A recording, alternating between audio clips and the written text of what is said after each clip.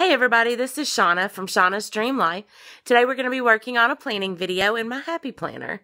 So sit back, relax, and enjoy.